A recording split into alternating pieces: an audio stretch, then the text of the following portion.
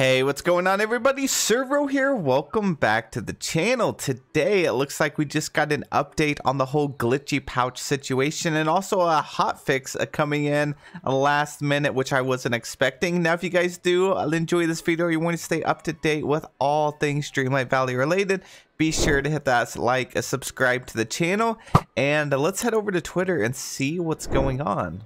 So they just made this post right here. It said, a happy hotfix day. They made this like 12 minutes ago. So I don't know if they're going to add anything more. Uh, says, we're actively deploying a hotfix for all platforms. Please allow up to two hours for the hotfix to become available on your device. Now, starting off with the first, because they have like five parts to this. They said base game top fixes include Xbox players can now join a Valley via their friends list, no code required. That's actually pretty cool. You you don't even have to input like a code or anything like that. You can just join through your friends list. The Forgotten House found their body again. I've seen a lot of pretty creepy looking um pictures floating around on the internet with the Forgotten. So it looks like they resolved that issue. The Dapper Wally Dream Style hat is realigned, whatever that means. I haven't seen anything going on with that, but uh, I guess his hat's fixed. And then the Rose eye patch removed from Scrooge's store. Oh, so that was not intentional. The the whole premium shop eye patch was not supposed to be in Scrooge's shop. I actually saw that in my store and I went ahead and purchased it, even though I already had the eye patch. But I thought it was on the opposite eye. So I thought it was like a new free item that they added. And then the expansion top fixes include visit the Borderlands with the removal of an invisible wall. Okay, so I know exactly which one that is. We'll go take a look at that in just a moment. Uh, various grid issues are and stuck items on Eternity Isle. And then optimization of Scramble Coin AI and new difficulty indicator. What does that mean? Hold up, we gotta check that out. Oh, okay. So yeah, if you go over here, like Remy, it says, "Do you want to play Scramble Coin?" It says level one.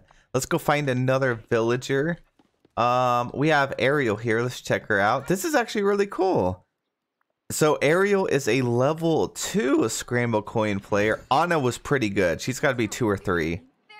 Let's see. She's level three. Okay, so I, I know I wasn't just bad. I know she was just like really good. Kristoff was really good too. He's probably four if it even goes that high. What? Level one? okay, that's embarrassing. Never mind. Let's check out Nala. Nala was really good too. She was level one? Okay, it's confirmed. Serroh's trash as, as Scramble Coin. Let's see, we got Vanellope here. She is level three. Wow, that, that makes sense. She's really intelligent. Uh, Olaf, he's level two. He's medium. Okay, okay. I know Goofy has to be level one. Let's see what Vanessa is. She is level two. Okay, so I wonder if there's a if it shows if you go to your collections. This is a pretty cool update. I was not expecting to get this. Um, I was hoping it would show like over here. Nah, it's not. Their hangout bonus is saying a 2 by 2 your companion can find more treasure when time bending. Why does this show 2 by 2 down there? That's really weird. Is that bugged out? Because it, it does not look like something that's like professional or supposed to be there. Hopefully they didn't mess with my time bending. We'll have to we'll have to look at that a little more later. Um, Scar is a level 3, so yeah, it looks like level 3 is probably the highest. We'll check out Merlin and see what his level is, because he's got to be like the best. Um, yeah, so Merlin, where's my boy? Here he is. Merlin. All right, so he's got to be level three then. Okay, that's confirmed. So level three is the highest. So one, two, and three. So now you guys know who's really good and who's not the best at Scramble Coin. Okay, and then it looks like they fixed the whole invisible wall at the Borderlands. So we're going to go ahead and check that out. Um, so whenever you spawned over here in the Borderlands, there's this path to go down here. You have to like break these things but you would hit an invisible wall. And now it looks like you could actually come down here and there's a chest. So I'm going to see what's in there finally. Let's go ahead and pick this up. Uh, get a little memory. Okay, I've been wanting to know what's in this chest for a while. I've been locked out from it. It is, yes, 224 coins. Let's go. Best fix of all time. Alrighty, so yeah, various grid issues and stuck items are fixed. Optimization of Scramble Coin AI and new difficulty is fixed. And then the expansion top fixes continued. The capybara will now drop rewards after feeding. Villagers no longer sit together after playing Scramble Coin.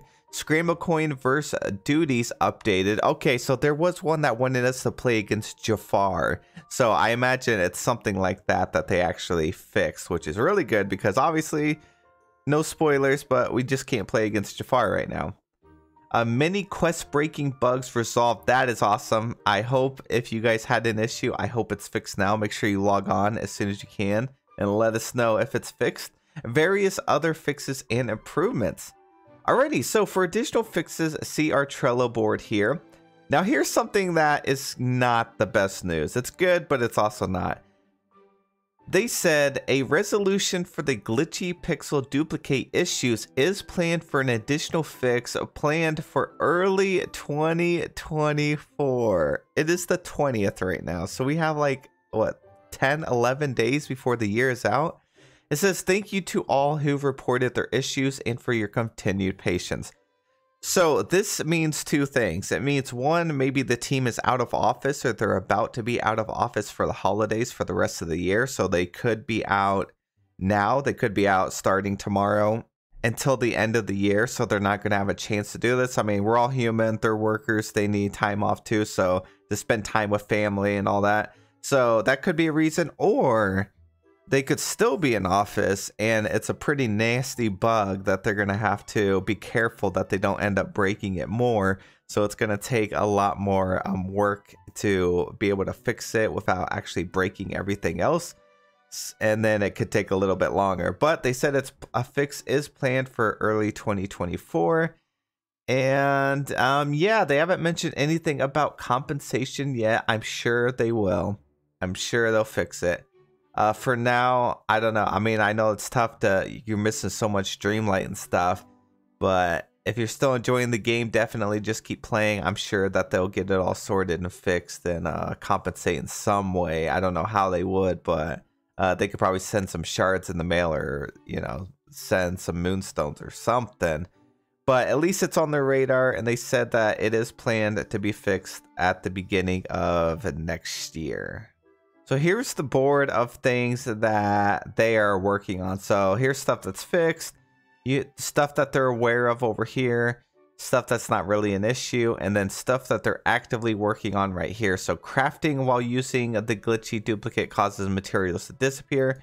This is um, their top priority right now. Egg bushes are still present in the valley. This has been up here for a long time, so I'm not sure why this is on here. So is the Mother Gothel restoring the Sunstone quest. Um, yeah, some of these have been up here for a long time. Founders pack rewards are missing. So I don't think they fully updated their Trello board. And stuff they're aware of is also some like random quests. Critters do not drop rewards when fed, unable to use tools. So issues that are fixed, they have the time bending table price. The time bending table has had its price adjusted in the Scrooge store to its intended value. Uh, so it was updated an hour ago. So it looks like they're not like just one gold anymore.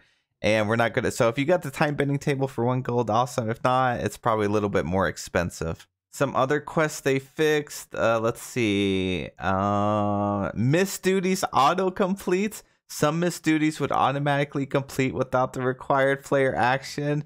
They fixed that an hour ago too. No, they patched the missed duties autocomplete. Dang it, that was such a good thing. Why would they do that? Uh, let's see. Anything else? Capybara, invisible wall. No, it doesn't look like anything else.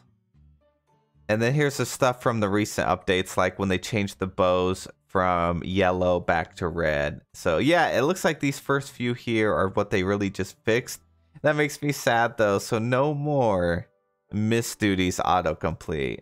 And then time bending table back to its original price. So oof. But that's it for the video. I hope you guys enjoyed. Um, I don't really know what else to say about the whole glitchy pouch situation. It is a shame that we have to wait until next year so it could be like another 10 to 20 more days until it's fixed. But on the bright side, at least we know it will get fixed and it's confirmed. And also, we're not going to be waiting around for the next, you know, 10 days or so wondering, are they going to fix it? When are they going to fix it? We know that it's it's going to be next month. And then uh, if it's anything like anything else in the game, I'm sure they're going to give some sort of compensation. They always have with everything in the past. So I definitely think that they will come up with something. So I'm still, I, I'm sorry for all those that were affected. I know you guys had a lot of Dreamlight that was missing and some other stuff. But uh, I do think that they'll make it right. We'll just have to keep playing, keep doing our thing, and then uh, hopefully those days fly by and we get uh, everything sorted. But thank you guys so much for watching the video. I really do appreciate it. We still had some cool stuff with the update, um, like the whole scramble coin thing. I don't know if that's a big deal to you guys or not, but where it shows the difficulty level, I think that's awesome. I'm very happy that they implemented that. That way we can know if you know someone's like really good or not. We know who to play or not play against. So that's a pretty cool feature. I am curious what Mickey is though, really quick actually, before we end the video, because he was the one that you have to play against. And to me, he seemed difficult, so I feel like Mickey would have to be a level 2. And if that's the case, why did they make the starter one for the quest that we have to be a level 2 character instead of a level 1? So let's see what they um, have him down really quickly before we close out video. Uh, Mickey, here he is. He's gonna, it's gonna say he's a level one, but that there's no way. Yeah, see, he's a level one. He was pretty dang tough though. How is he level one? He destroyed most of us.